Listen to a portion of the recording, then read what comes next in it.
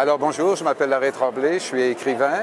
Euh, j'ai eu aussi la chance d'être dans ma vie euh, acteur euh, et metteur en scène. J'ai écrit des romans, de la poésie et beaucoup de théâtre. Et je viens vous parler aujourd'hui de L'œil soldat, qui est un récit poétique. En fait, on a longtemps hésité entre poésie ou récit poétique, mais finalement, on a opté pour récit poétique parce que c'est de la poésie, mais ça raconte quand même quelque chose. Alors, le livre se divise en deux longs poèmes, euh, l'histoire de l'œil gauche, l'histoire de l'œil droit. Et ils, sont très différents l'un de l'autre, mais il n'empêche qu'il y a un fil conducteur qui les unit à la fin. Euh, de quoi ça parle? L'œil soldat, ça parle euh, évidemment de guerre, puisqu'il y a le mot soldat. Il y a aussi le mot œil, ça parle de vision. Il y a le mot droit et gauche, parce qu'il y a toujours chez nous un système de position.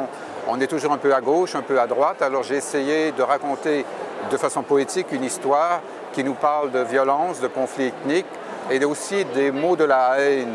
Euh, pourquoi euh, le langage peut-il être désastreux, euh, meurtrier, guerrier, mais en même temps séducteur et manipulateur? Donc j'ai questionné le langage de la violence à travers cette forme poétique.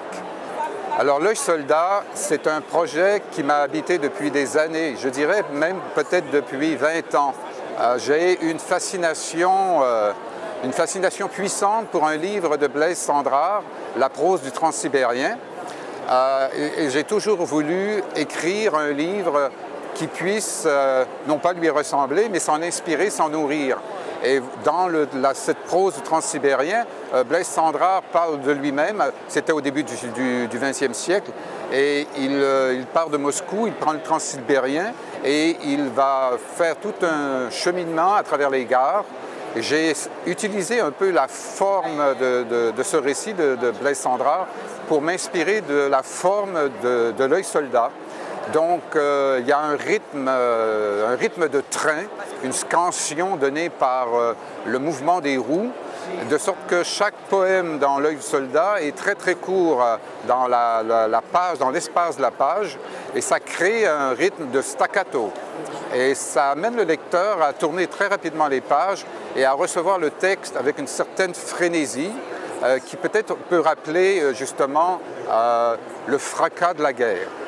Donc, merci Blaise de m'avoir habité si longtemps et de m'avoir permis d'écrire L'œil soldat.